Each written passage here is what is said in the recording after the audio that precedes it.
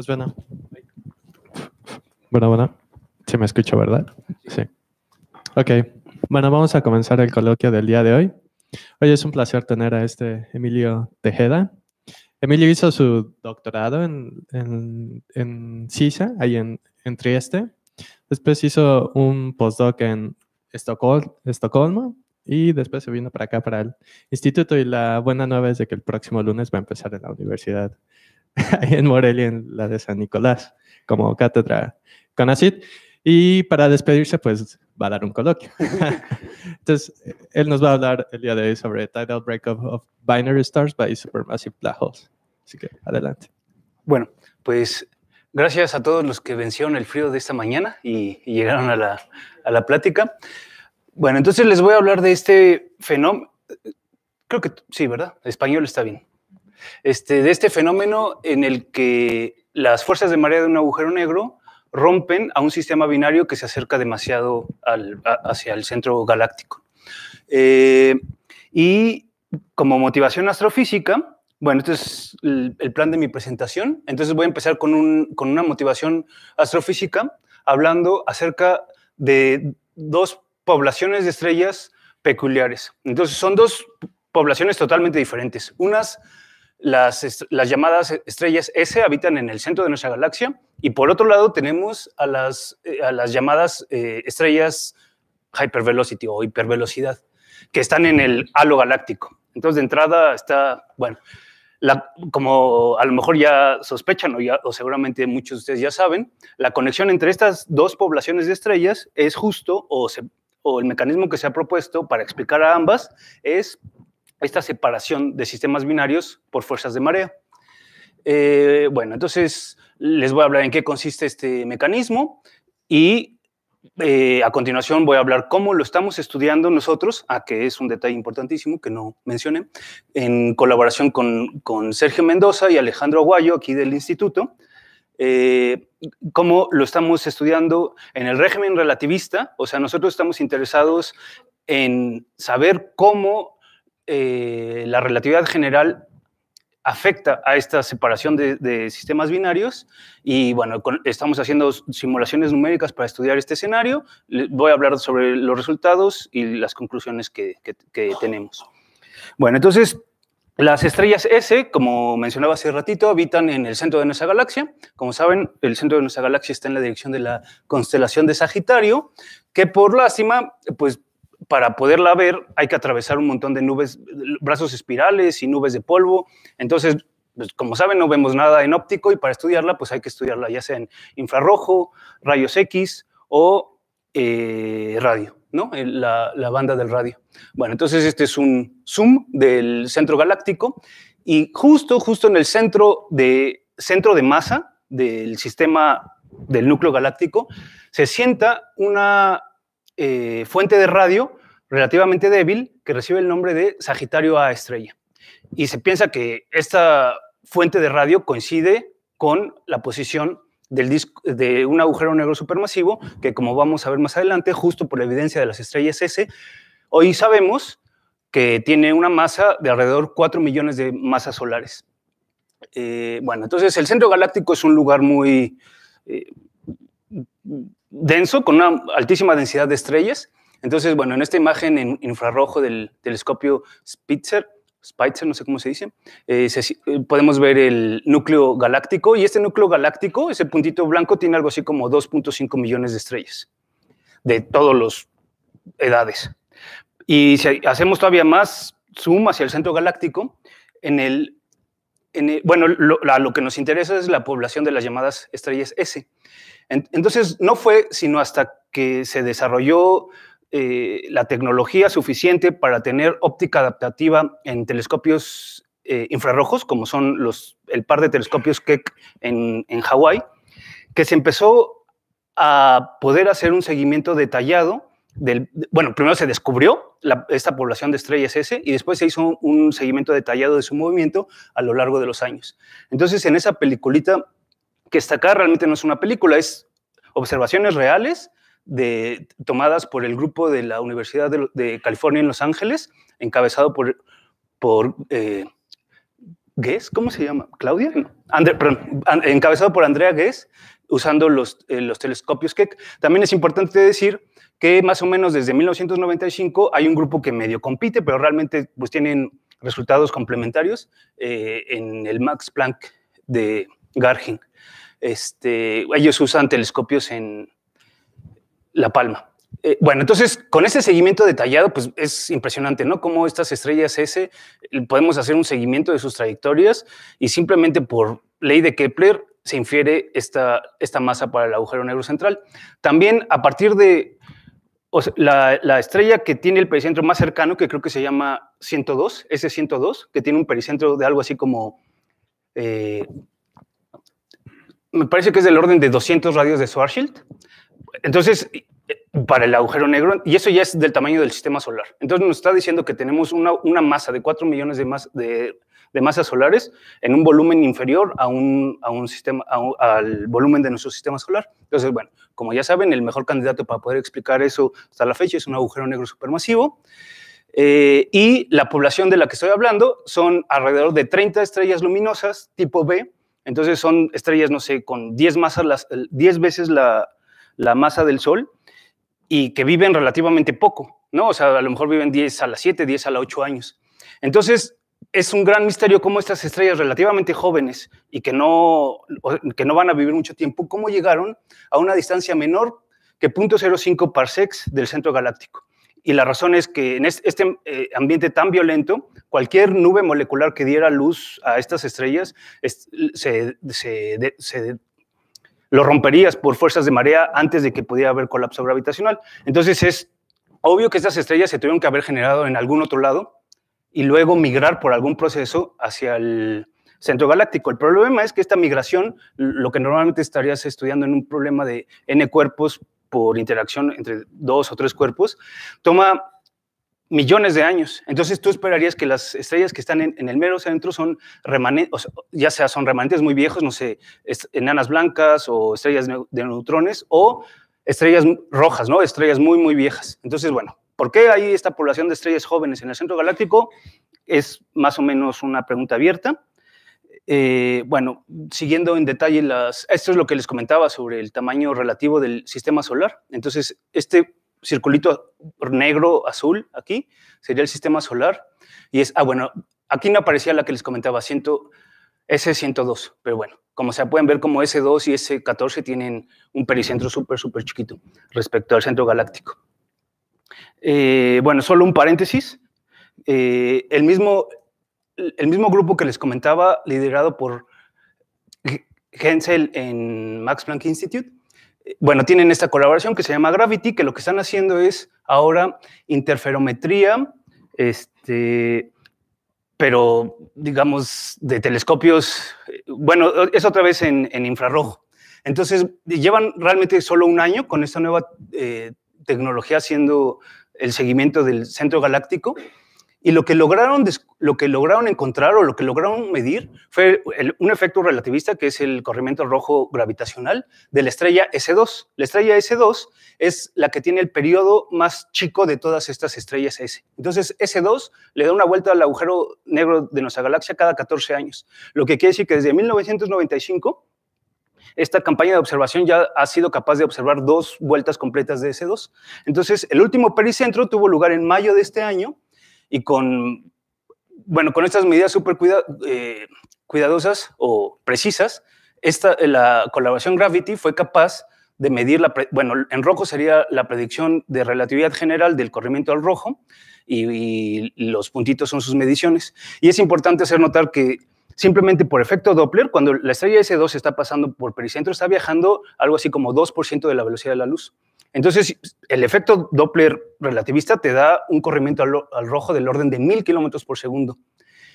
Y un orden de magnitud por abajo, o sea, solo del orden de 200 kilómetros, perdón, ajá, de 200 kilómetros por segundo, es el efecto del eh, corrimiento al rojo gravitacional. Entonces, bueno, es un gran, otro, digamos, otro triunfo de la relatividad general, si lo quieren ver. Y también es muy interesante que durante la misma campaña, a lo mejor vieron, ¿no? creo que fue alrededor del 30 de octubre, hubo noticias en Nature y en Science sobre, descubrieron el movimiento de hotspots en el disco, bueno, en, el en lo que se presume que es el disco galáctico alrededor de la estrella, del, Sagitario A estrella.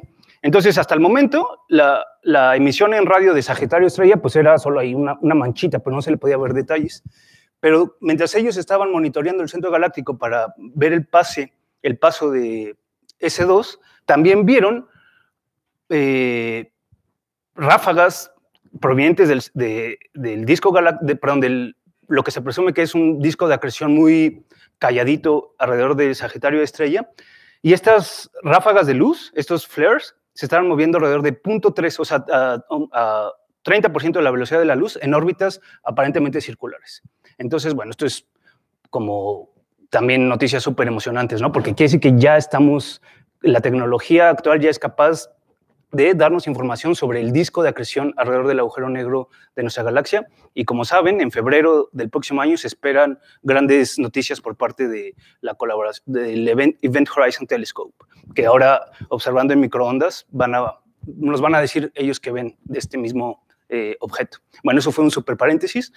Eh, déjenme, ahora ya les hablé sobre las estrellas S y ahora voy a hablar un poco sobre las estrellas hypervelocity. Entonces, las estrellas hipervelocidad son estrellas que se, que se, que se descubren en, el halo, en la región del halo galáctico, o sea, no están preferencialmente en el disco, que se mueven a velocidades mayores que la velocidad de escape local, lo que quiere decir que se mueven típicamente a velocidades de varios cientos de kilómetros por segundo.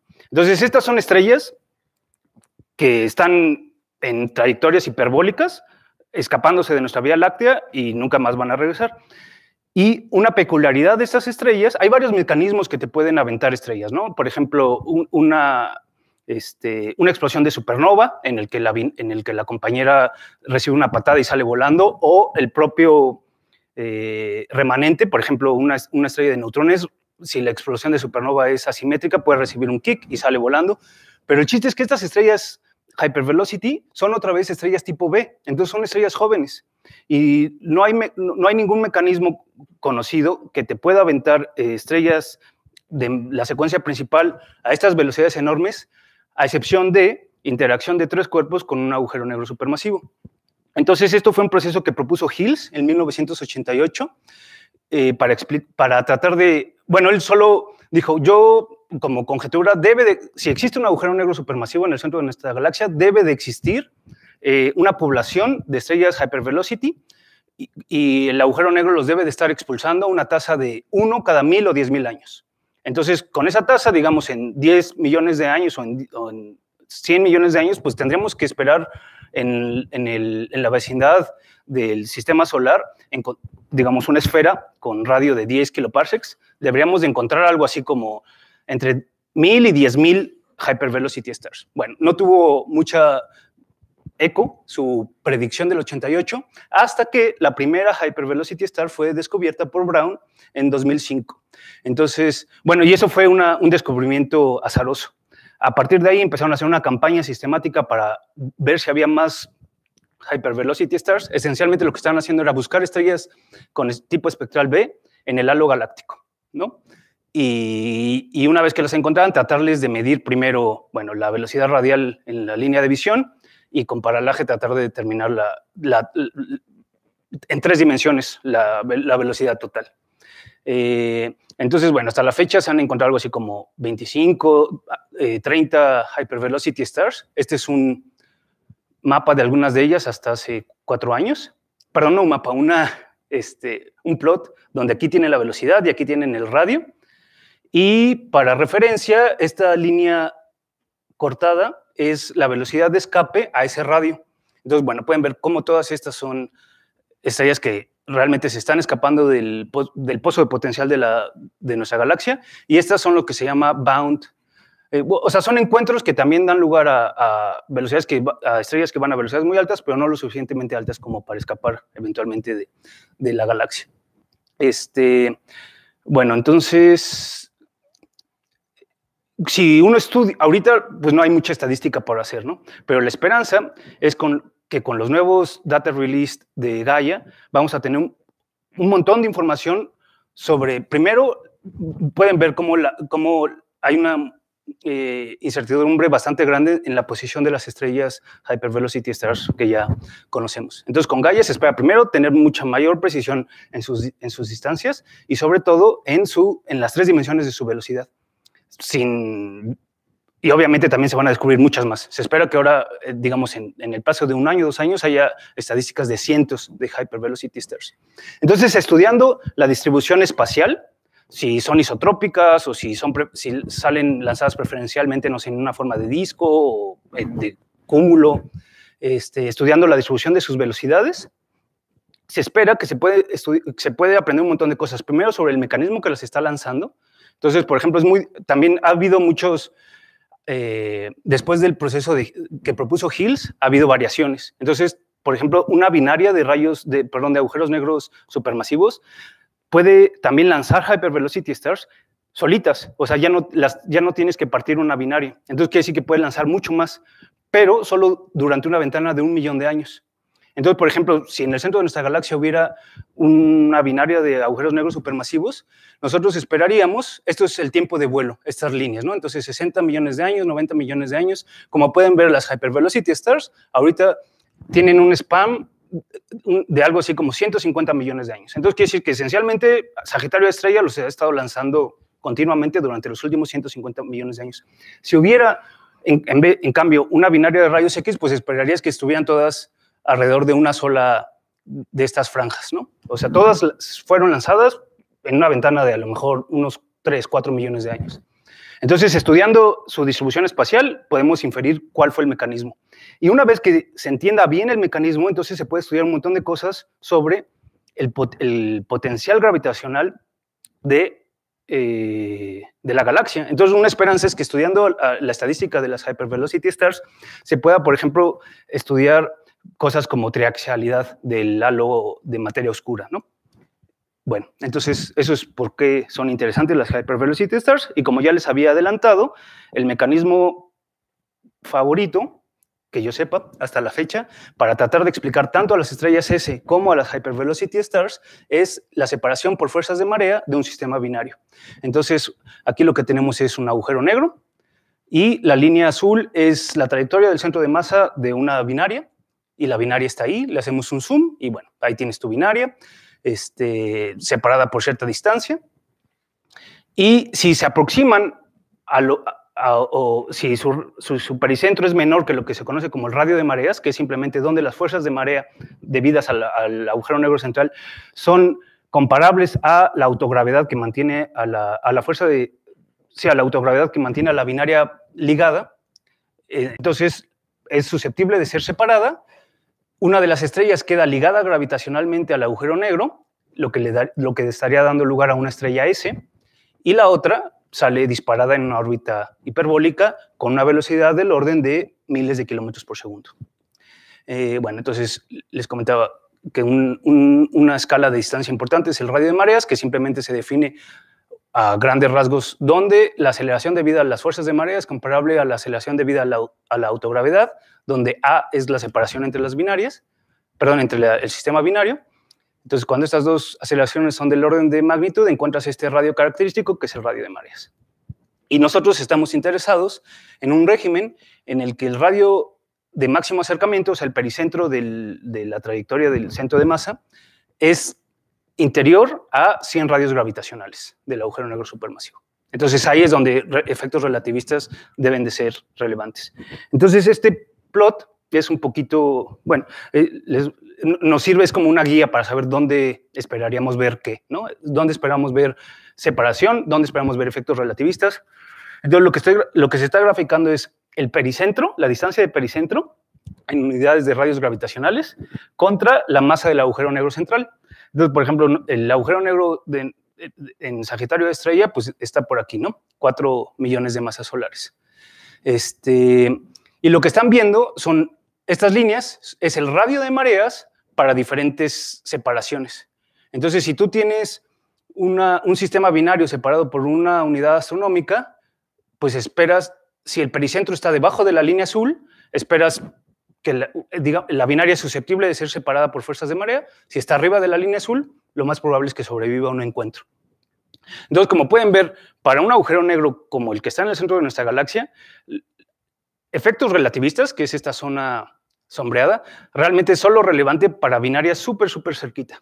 O sea, con periodos a lo mejor de días o de horas. ¿no? Entonces aquí a lo mejor en estas ya estamos hablando o de binarias de contacto o de variables cataclísmicas que bueno, habría que ver qué tan comunes son en el centro galáctico, pero bueno, esa es otra historia. Ahorita nosotros solo estamos interesados así en estudiar qué le pasa a, sistemas de tres cuerpos con efectos relativistas. Pero es importante hacer notar que para agujeros negros más masivos, no sé, un agujero negro de 10 a la 8, 10 a la 9 masas solares, entonces los efectos relativistas empiezan a ser relevantes incluso para binarias más comunes, ¿no? Entonces, incluso para separación de binarias del orden de unidades astronómicas. ¿Ok?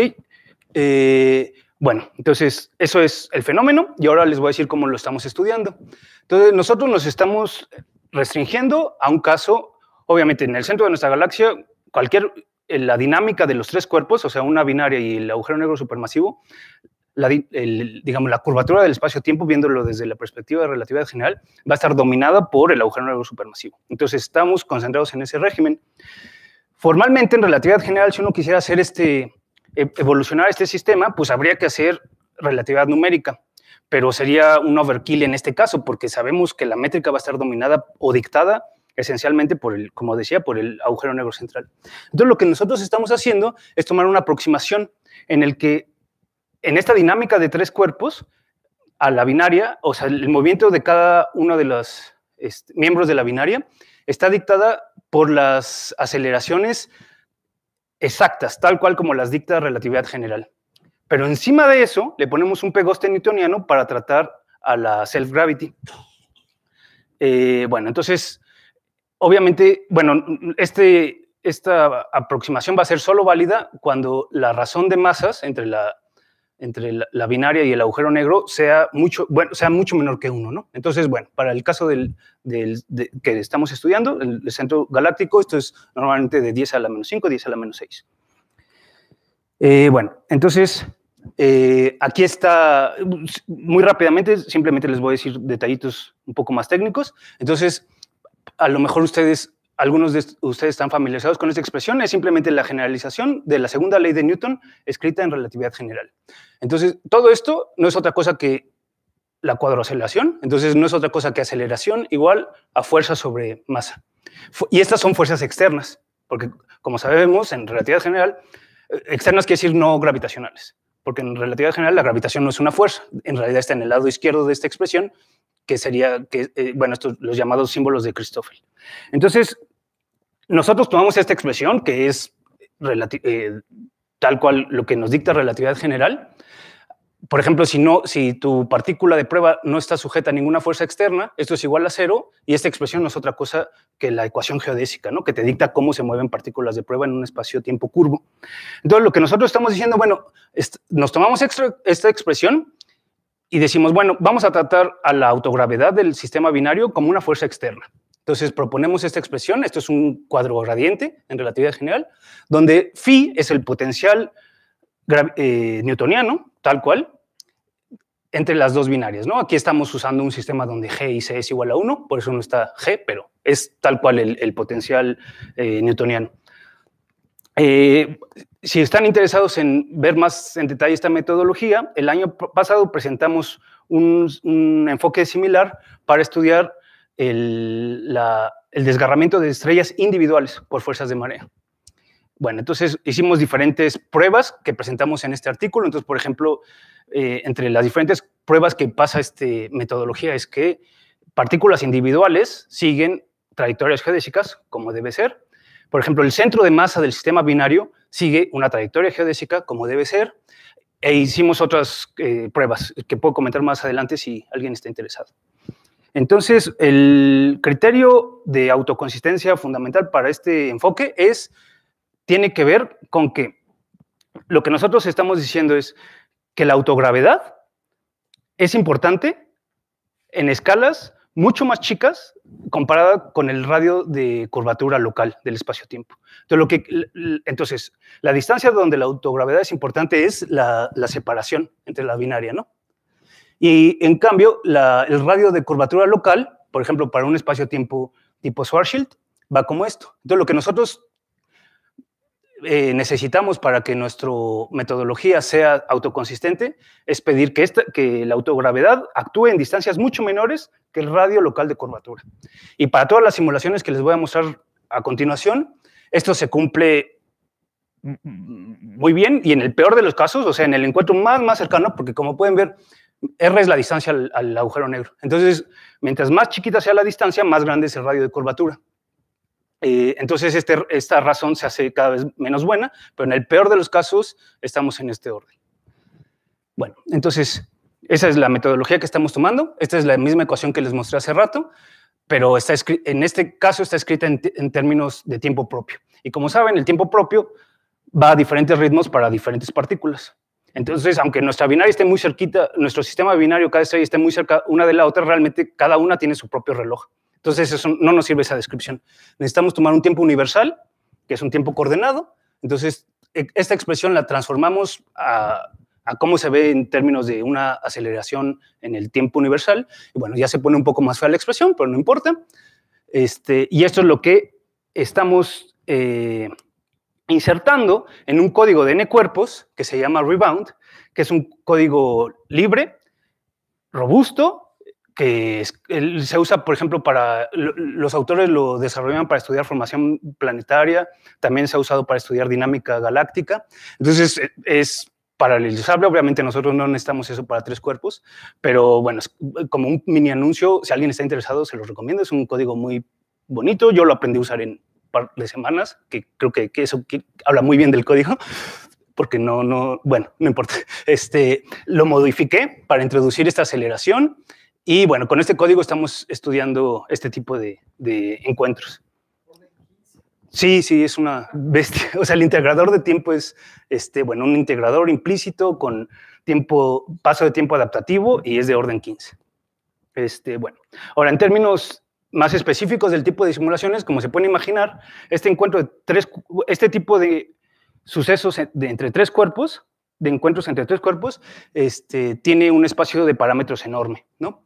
Entonces, si te pones a contar, al menos son algo así como 12 diferentes eh, parámetros. Por ejemplo, las masas individuales, la separación entre la binaria, la orientación respectiva entre la órbita de la binaria y la órbita del centro de masa alrededor del agujero negro central, y si todavía le sumas a un agujero negro rotante, entonces tienes cuatro, grados de libertad extra. Entonces, bueno, es enorme, ¿no? El espacio de parámetros. Entonces, para este primer estudio, lo que hicimos fue, bueno, vamos a tomar un espacio muy restringido. Entonces, primero tomamos masas iguales para la binaria, órbitas circulares, órbitas coplanares, lo que quiere decir que la binaria está en el mismo, en el mismo plano orbital que el centro de masa. Este, fijamos la, la razón de masas, a 10 a la menos 6 y tomamos un agujero no, rotante. Esto nos deja con dos parámetros. Beta, que es el parámetro de impacto, que es simplemente la razón entre el radio de mareas y el radio de pericentro, y te dice qué tan eh, profundo es el impacto. Mientras más grande sea beta, más violento va a ser el encuentro. En general, uno espera que si beta es mayor que 1, rompes a la binaria, muy en general, y si beta es menor que 1, la binaria sobrevive. Y luego la fase, que es simplemente el, cómo, estaba orientada la, binaria cuando empezó su aproximación al agujero negro. Y con solo estos dos espacios, con solo estos dos parámetros, bueno, todavía hay un montón de, cosas que se pueden estudiar. Entonces, bueno, esto es un resumen de lo que estamos haciendo. Eh, la excentricidad de la binaria es cero, que sí que está en órbitas circulares, y la del centro de masa es uno, que sí que estamos tomando una órbita parabólica. Eh, entonces, bueno, tomamos el, parámetro de impacto lo partimos en 20 intervalos entre 0.1 y 10. Las fases la tomamos este, en 300 intervalos uniformes entre 0 y pi. No nos tenemos que ir a hacer de 0 a 2 pi porque las dos masas son iguales, ¿no? Entonces, con media vuelta basta. Y para todas estas simulaciones hacemos dos corridas. Una para órbitas prógradas, o sea que la binaria se mueve en el mismo sentido que su órbita de centro de masa, y para órbitas retrógradas, o sea, que van a otra dirección. Y luego, otra vez, la misma simulación en el régimen newtoniano y la misma simulación en relatividad general. Entonces, al total, en total tenemos algo así como 24.000 simulaciones. Y lo que es muy padre de este tipo de encuentros es que realmente lo que te está dictando la escala es la masa del agujero negro. Entonces, una sola simulación no es un solo encuentro, es representativo de toda una familia de posibles encuentros porque tú puedes escalar la masa del agujero negro. Entonces, por ejemplo, esto, el mismo encuentro puede ser representativo de un, de un encuentro entre un agujero negro de 10 a las 6 masas solares con, una, con dos binarias cada una de 0.5 masas solares separadas por nada, ¿no? Entonces esto podría ser, por ejemplo, dos estrellas de neutrones, perdón, dos enanas blancas. Eh, o escalamos un orden de magnitud para arriba, entonces ahora es 10 a las 7, dos, dos estrellas de secuencia principal, cada una de 5 masas solares, separadas por 0.1 unidades astronómicas. O si nos vamos todavía un, paso más arriba, puede ser un agujero negro de 10 a la 8 eh, masas solares, con dos objetos de 50 masas solares separados por, por una unidad astronómica. Entonces, este tipo de encuentro realmente podría corresponder a dos, a dos agujeros negros en una órbita binaria, cada uno de 50 masas solares, por ejemplo, los que encontró LIGO, el tipo de agujeros negros que ha encontrado LIGO en años recientes, por merger de agujeros negros. Este, y bueno, lo importante es que esta distancia realmente los agujeros negros están realmente en el régimen newtoniano. Entonces, no está mal tratada la binaria de dos agujeros negros de 50 masas solares como Newton, o usando física newtoniana, sí están separadas con, esta, con este tipo de, distancia, de, distancias. Bueno. ¿Cuánto tardarían unos negros separados de una unidad astronómica? Seis tiempos de Hubble o algo así. Sí, o sea, no, no están en el régimen de emisión de ondas gravitacionales pero hay una sorpresa al final. o sea, este encuentro las puede, bueno, ya se los adelanto, ¿no? Este encuentro puede forzarlos a, estar, a entrar en el régimen de, donde emisión de ondas gravitacionales es eficiente. Bueno, entonces este es un ejemplo del tipo de, encuentros que tenemos. Aquí está el agujero negro, este es el radio de mareas, y en azul es la trayectoria del centro de masa. Entonces, ¿se acuerdan que yo les había dicho que el centro de masa iba a ser una trayectoria parabólica, no? Y este pues no tiene nada de parábola. Lo que pasa es que es una parábola energéticamente, o sea, tiene energía en infinito igual a cero. Pero ya esto es una simulación relativista. Entonces pueden ver cómo la precesión de pericentro es tan extrema que dobla la trayectoria en sí misma, ¿no? Entonces esto ya geométricamente ya no es una parábola. Pero corresponde exactamente a la geodésica que debe seguir en un espacio de tiempo de Schwarzschild. Eh, Exacto, sí. Si esto fuera newtoniano, entonces esta órbita se vería así. ¿No? Una parábola. Entonces, bueno, esto es un zoom a nuestras, eh, a las estrellas, y esta fase de la que les estoy hablando es, es solo cómo está orientada la binaria cuando la soltamos en su posición inicial. Entonces, esta, esta phi es la que, la que estamos variando con, 300, con un grid de 300 puntos.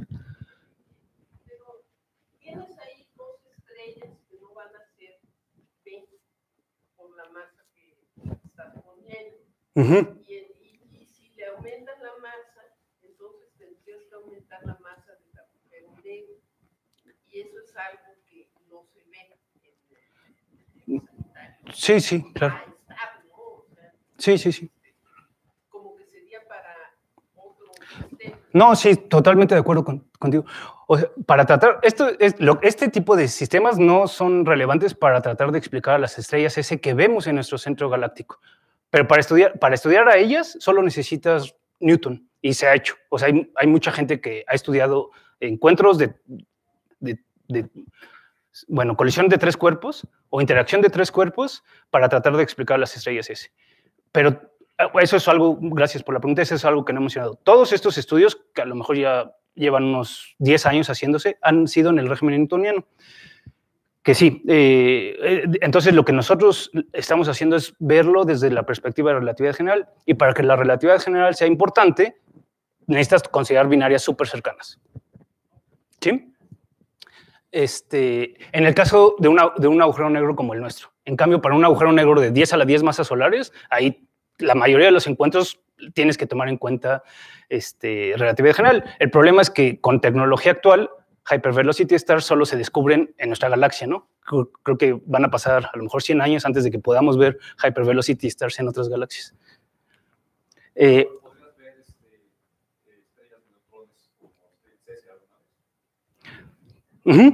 justo, sí, Mientras aumente la resolución de, por ejemplo, esta interferometría en infrarrojo, a lo mejor eventualmente se, van se va a encontrar una, una población de estrellas todavía más internas que las estrellas S.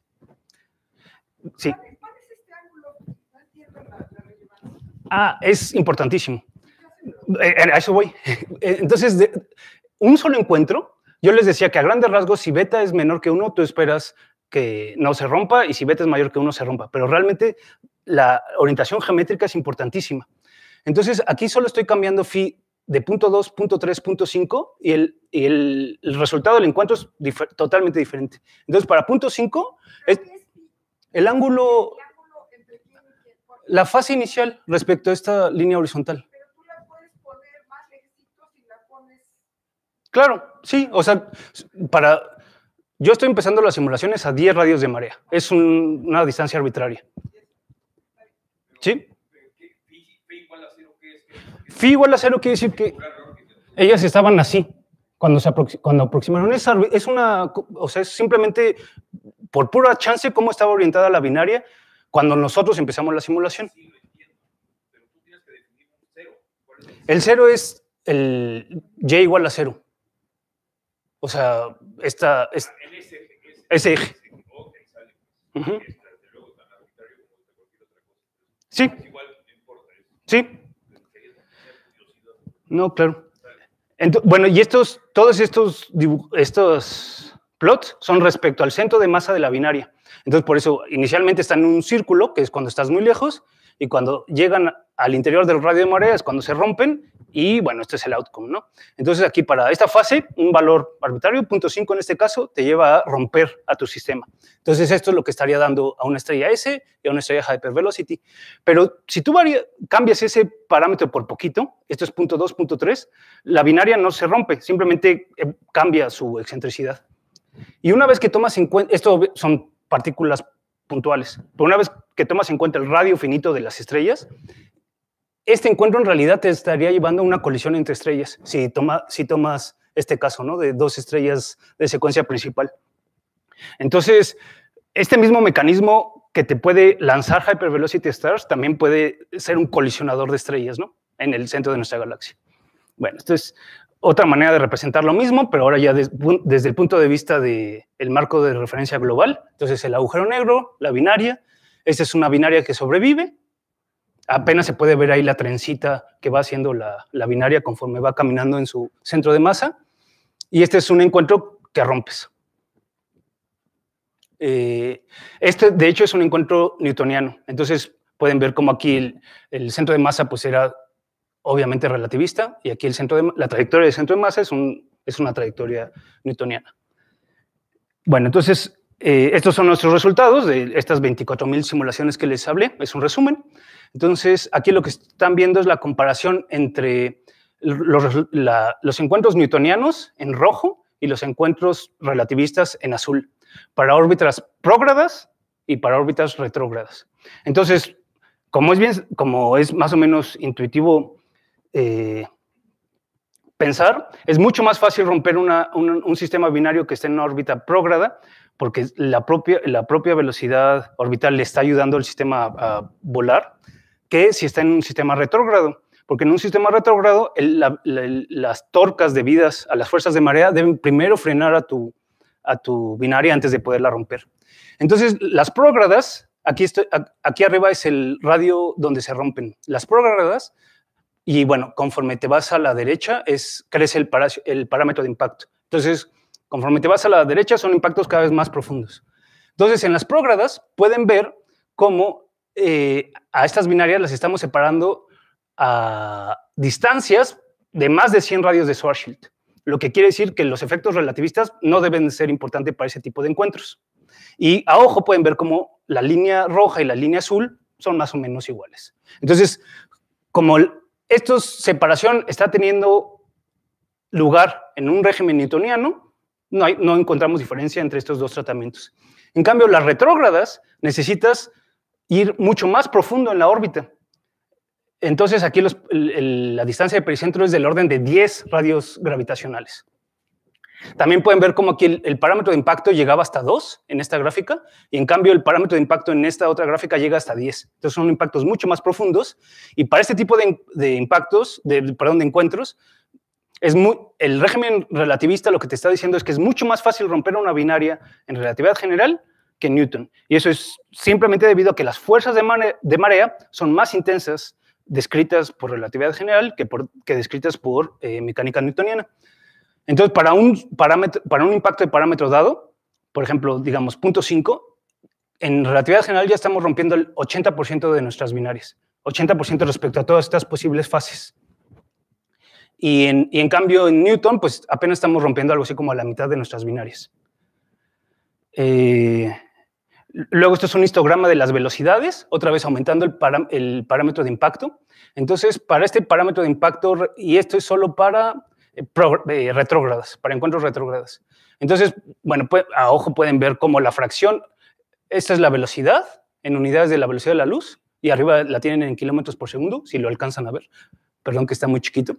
Este, entonces, a ojo pueden ver cómo la distribución newtoniana, que está en rojo, son mucho más, son menos comparadas con las azules, que es la relativista. Y al mismo tiempo, las velocidades con las que eyectas estrellas hypervelocity en el régimen este, relativista o con un tratamiento relativista es mucho más grande que lo que obtienes con una simulación newtoniana. Entonces, bueno, aquí en comparación es 1200 kilómetros por segundo contra 2100 kilómetros por segundo. Entonces es un factor de 1000 kilómetros por segundo. Es una diferencia apreciable. Bueno, y es como va evolucionando estas distribuciones conforme vas aumentando el parámetro de impacto. Esta es otra manera de representar lo mismo, ahora solo para este, encuentros relativistas. Entonces, el parámetro de impacto está creciendo de abajo para arriba. 2, 3, 4, 5, 6, 7, 8, 9, 10.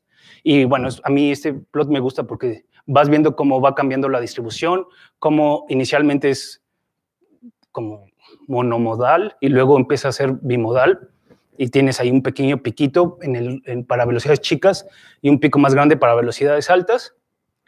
Este, bueno, eh, voy a tratar de apurarme para dar tiempo a más preguntas. Esta es otra manera de representar otra vez todas estas simulaciones y me gusta porque, ah, eh, déjenme primero les explico qué están viendo. Entonces, los isocontornos de colores son la velocidad con la que sale eyectada la estrella hypervelocity. Entonces, estas simulaciones newtonianas, simulaciones relativistas. Y es, un, es una representación polar donde el ángulo es tal cual la fase inicial, entonces fase 0, fase de 90 grados, etc. Y el radio es el parámetro de impacto. Entonces, estos son encuentros poco fuertes y conforme va aumentando el radio son cada vez más intensos o más profundos los encuentros.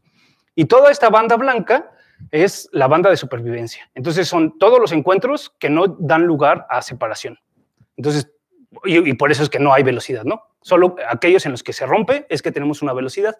Y a ojo se puede ver cómo la banda de supervivencia en Newton es mucho más grande que las, algo así como tres veces o cuatro veces más ancha que la banda de supervivencia en Schwarzschild. Y al mismo tiempo, el máximo de velocidad aquí era de 2.900 kilómetros por segundo y en Schwarzschild es 400 kilómetros por segundo más rápido. ¿no? Sí.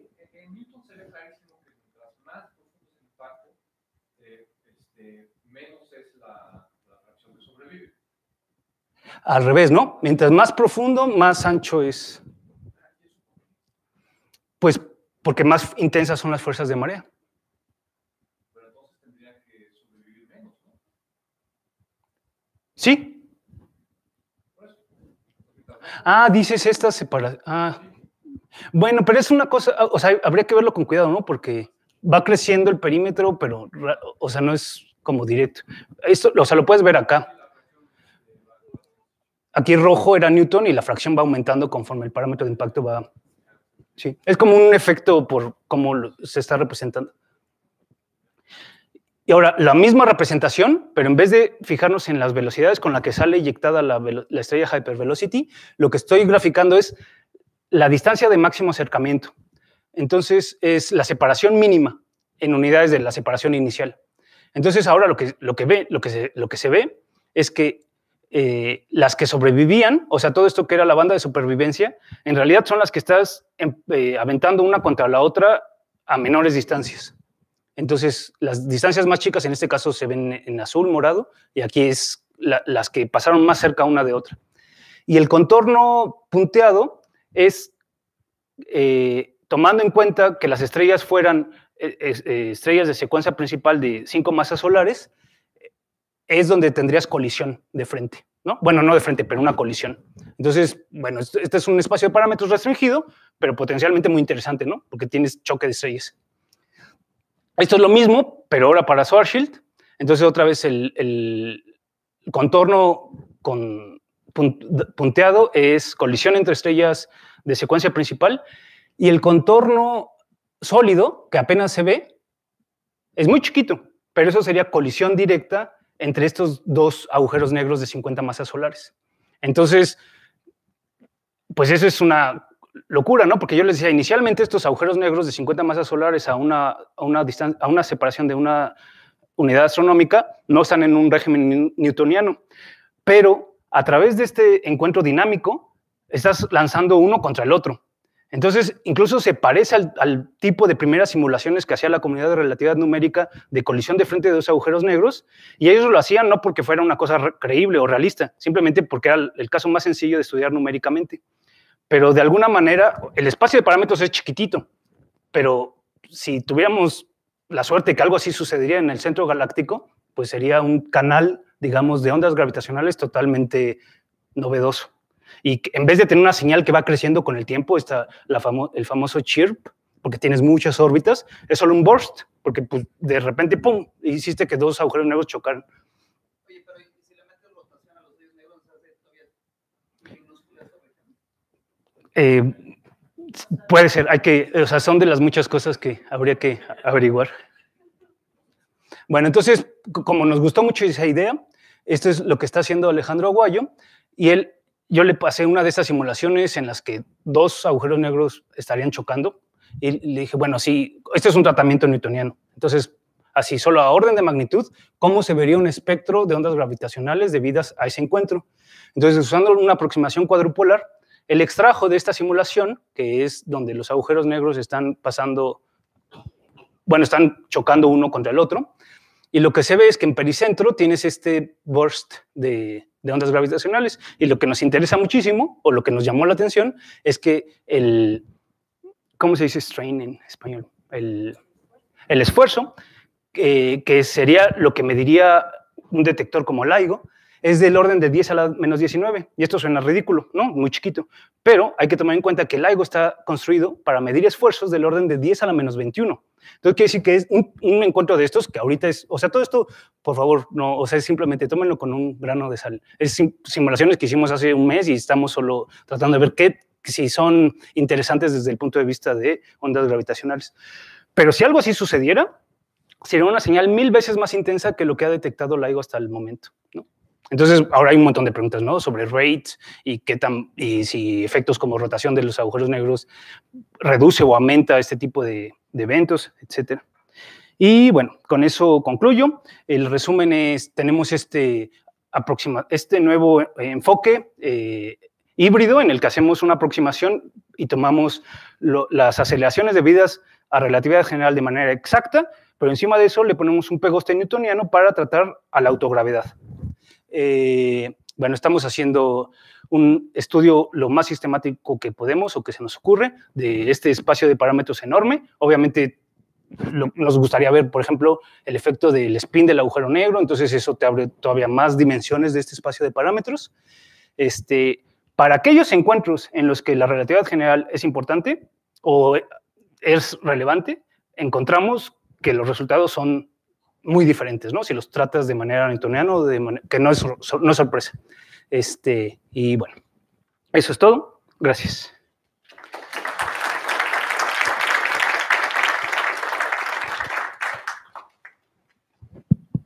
¿Preguntas?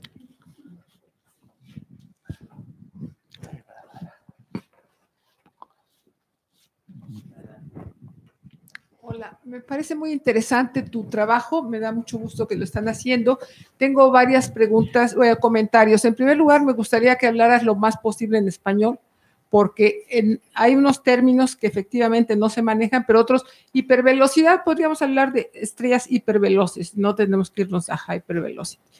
Por otro lado, mi comentario de, de la, de la Gaia, Gaia nada más está viendo muy cerquita de- de- del Sol y el, las estrellas estas de, de hiperveloces están muy lejos según la gráfica que tú pusiste. Hay de todas. Entonces, eh, la gráfica que pusiste está hablando de 10 a las 5 años luz, que es el tamaño de la galaxia, entonces están lejos. sí, Eh, eh, ese es un comentario. No, no, no que esté mal, sino que yo creo que Gaia va a hablar de las, gala- de las estrellas que están cerquita de nosotros y va a estar difícil que, que hable de esas, que encuentre de esos objetos. Ahora, puede encontrar cerca de nosotros eh, estrellas moviéndose a altísima velocidad, podría ser, como no, pero, pero no, como que no, no, Sí. no va con esas. Y el otro comentario que tengo es que tú tienes todo un para, tu, mar- tu parámetro beta te está dando muchos resultados muy interesantes, pero no es físico. Yo creo que tendrías que buscar algo físico. Por ejemplo, ¿cuál sería la inclinación cuando la órbita pasa pues a una distancia que el pericentro a tantos veces el radio de quién sabe quién? Porque tú es- tomaste como punto inicial las mil radios o no sé qué, y, y tú una orientación cualquiera, y sí te salen resultados interesantes, pero no, no hay física ahí, porque así como tomaste mil, podrías haber tomado 900 o, o, o, o 2000. ¿Dices para la distancia inicial? Sí, para distancia inicial, o sea, tus condiciones iniciales del Ujú. resultado de todas estas gráficas que están muy interesantes, como que le falta, ha- hay algo de física ahí que, que te estás brincando. Ya. Y yo sugiero que busques cuál es ese parámetro físico, porque el que estás usando es un parámetro artificial que así como lo pusiste una cierta orientación phi a los mil no sé cuántos, o Sí, lo podrías haber puesto a los 950 o a los 300 o lo que sea, y es totalmente artificial. Habría que buscar una razón física para eso. claro. Porque hay, porque si hay, Sí. si hay irregularidad, debe de haber una, un sistema ahí. Entonces, dos-. Claro, no, sí, muchas gracias. Entonces, dos comentarios. Obviamente sí, el Gaia va a ser una burbujita, creo que es un kiloparsec alrededor del Sol. Bueno, pero sí, solo de, para, de- digamos, para referencia, el, el Sol a 8.5 kiloparsecs del centro está algo así como 26.000 ¿no? Eh, años luz. Entonces, digamos, esta sería la esfera del, de la vecindad solar. Entonces, ahí estas dos esferas, la esfera de Gaia y la esfera de la vecindad solar, se intersectan. Entonces, eh, serían las que caen en esa intersección. Y luego otro comentario eh, sobre lo- el final de, de tu- Ajá. Realmente, be- beta, bueno, no estoy de acuerdo porque yo creo que beta sí es un eh, parámetro muy físico. Te está diciendo qué tan, es simplemente una medida de qué tan adentro llegó la binaria. Entonces, y, y- y lo que me decías, sí, la, la fase, claro. Y la fase va a depender muchísimo de la distancia inicial, estoy totalmente de acuerdo. Pero aquí lo importante es que la distancia inicial no importa eh, siempre que sea más grande que el radio de mareas, porque es la, la binaria no se entera de las fuerzas de marea del agujero negro, digamos, a una distancia más allá de 5 radios gravitacionales, perdón, de radios de marea. Entonces, la orientación geométrica es totalmente arbitraria, estoy de acuerdo, pero lo importante es que estamos haciendo un barrido sobre todas las posibles orientaciones. Y daba igual que nosotros empezamos la simulación a 10 eh, radios de marea, que es lo que hicimos, es un valor arbitrario, o a 20 o a 100. Sí, o sea, eso simplemente lo puedes seguir incluso analíticamente, ¿no? Porque ellas van a estar en órbita circular alrededor de una, una de la otra. Entonces, por eso es que creo que no es tan importante dónde empezamos la simulación, siempre que sea mucho más lejos que el radio de mareas. Hicimos una- un estudio y vimos que 10 radios de marea era más que suficiente. Sí, a mí me parece que todavía más importante que el spin del hoyo negro y, y es la, eh, la excentricidad de la órbita. Esto es, tú, estás eh, eh, forzando excentricidad cero y la coplanaridad, hola, creo que me salió bien, de, de- las órbitas. Y eh, el que las dos órbitas sean coplanares, la probabilidad es bajísima. Sí, sí. Eh, y, y- y por, y yo sospecho que, que sería sumamente interesante hacer, qué sé yo, cuatro ángulos de inclinación de la órbita. A- Sí. Al empezar, porque eso va a cambiar también. Eh, cuando no son coplanares, esa, esa órbita va a precesar rapidísimamente como, como precesó, digamos, el... eh, quién sabe qué, porque la órbita era circular y deja de serlo, claro. No, claro. Y luego las, ma- la mas- las masas, ¿no? También estamos tomando dos estrellas de masas iguales y pues no, pod- podrían ser una de cinco masas solares y la otra de dos o cualquier combinación. Habría que ver cosas, síntesis de, de estrellas y binarias. Y- Pero sí, y gracias. El cociente de masas, pues, de, Ujú. de- de las- Sí, sí. y la- Ya, me ganaron mi pregunta entonces. O sea, te iba a preguntar cuál era la siguiente variable a Bueno, atacar. Sí, o sea, esto, obviamente, el espacio de parámetros es enorme y la gente lo ha estudiado, ¿no? Entonces, por, por ejemplo, me parece que el grupo de Pablo Laguna en Georgia Tech lo ha estudiado de manera bastante sistemático y ellos toman a sus binarias con una distribución realista. Entonces toman la excentricidad de una distribución realista y las, la razón de masa igualmente. Y hacen los encuentros y ven cómo se modifica esa distribución después. Es newtoniano. Entonces, digamos, ahorita en nuestro grupo, no, no, o sea, no creemos que podamos hacer un gran impacto yéndonos en esa dirección, que es, estoy de acuerdo, es la más astrofísica, pero es simplemente porque estamos 10, llegamos 10 años tarde a esa fiesta. Entonces, entonces, pero tenemos esta nueva maquinaria que, déjenme, hago un anuncio una vez más, es novedosa, o sea, no hay ningún grupo que esté haciendo ese tipo de encuentros mixtos, porque los que están en relatividad general dicen, eso es un horror, o sea, ¿cómo se te ocurre mezclar relatividad general con un pegoste newtoniano? Y los que, digamos, los que estudian este tipo de procesos de binarias, no, no les interesa, porque, y tienen razón, porque para la gran mayoría de los encuentros no es relevante la relatividad general, entonces no les interesa. Entonces estamos usando esta nueva este, metodología y espero, no, no, les, no los traté de convencer mucho aquí, pero en la referencia que les dije hicimos varias pruebas tratando de demostrar que en el régimen del que estamos hablando tiene sentido. Y lo que no, no me quedó claro es, entonces tenías tus 12 variables Ujú. y luego dijiste el, el hoyo negro tiene cuatro. Si No le sumas claro cuáles son esas cuatro del hoyo negro. el spin, uno, y la orientación relativa, tres. Tres ángulos de Euler. ¿no? Ok.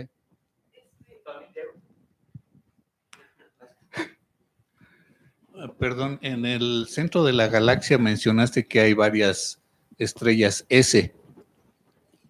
¿De casualidad o las observaciones han permitido determinar si alguna de ellas es binaria? Sí, eh, gracias. Que yo sepa, no. Que yo sepa, todas son eh, tipo espectral B y son estrellas azules. No sé si a lo mejor con más resolución. No, sé, la verdad es que no, no sé sobre eso. O sea, no sé si se puede esconder una binaria ahí.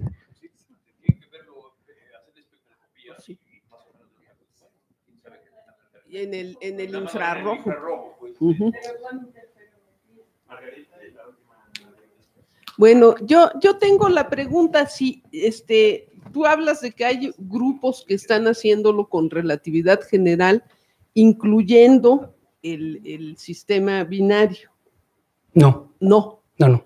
O- entonces, ¿qué hacen con relatividad general? Pues esto, o sea, es que esto- tratar esto con relatividad general está ahorita fuera del alcance de, Ah, de la relatividad numérica, porque la perturbación de una binaria en la curvatura para un monstruo de estos es nada. Entonces es- está dentro de tu ruido numérico o de tu error numérico. Entonces, este, este tratamiento, aunque sea con parche y todo Ujú. lo que quieras, es este, novedosísimo. Exacto, ese es lo que el, el mensaje que quería comunicar. Gracias. Sí. La última. Yo tengo una pregunta con respecto al misterio general sobre las este, estrellas hipervelocidad y las estrellas S en el centro.